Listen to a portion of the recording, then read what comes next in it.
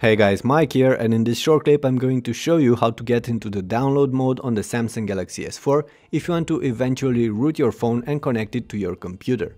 The first thing you need to do is turn off USB debugging, which is part of the developer options. You'll need to activate those by going to the settings, the more tab and then opening about phone. From here you'll need to tap build number 7 times and this is how you activate the developer options.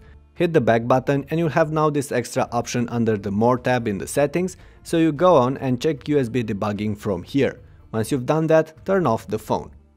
Now press all together and hold volume down, power and the home button to boot in download mode.